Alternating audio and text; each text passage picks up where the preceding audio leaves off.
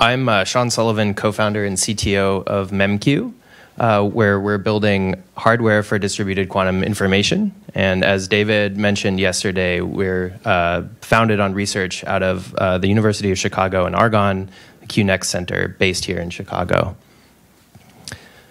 So, what we're doing is bringing quantum memories and single photon emitters to silicon phot- photonics.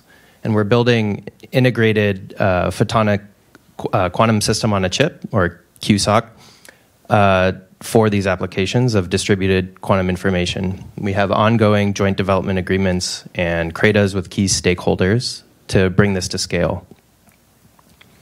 So, the vision that we're working towards is our integrated quantum system on a chip, which can generate, store, and distribute quantum information entanglement in the form of photons in the telecom C band through standard fiber optic cable networks.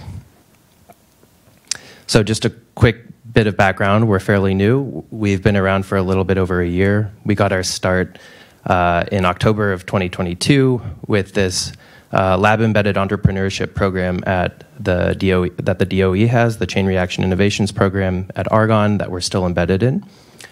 Uh, we then subsequently raised our Series Seed round been hitting uh, some key technical milestones along the way, including deterministic qubit placement on uh, photonic elements, completing our team of six full time PhDs uh, based here in Chicago, uh, packaging our own in house uh, chip, and then just recently doing a full uh, photonics foundry tape out on 300 millimeter wafers.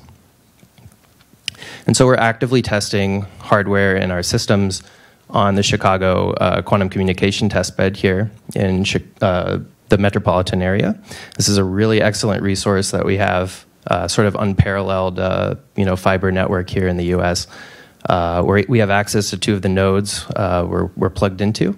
Um, and so please come talk to me about entanglement distribution, quantum repeaters and memories, wavelength multiplexing, and clock synchronization protocols. These are all sort of things that we're actively working on.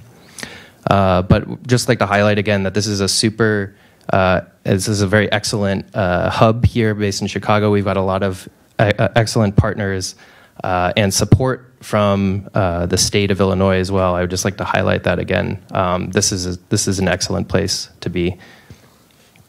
And so our upcoming offerings, first offering is going to be uh, C- CNS band emitters uh, based on our planar silicon photonics.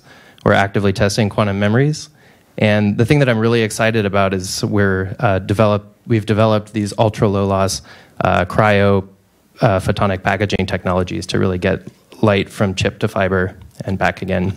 Uh, but please look out for more announcements in Q3 of this year. And uh, if any of this sounds interesting, uh, come come talk to me or or reach out to us through email. It'd be great. Thanks.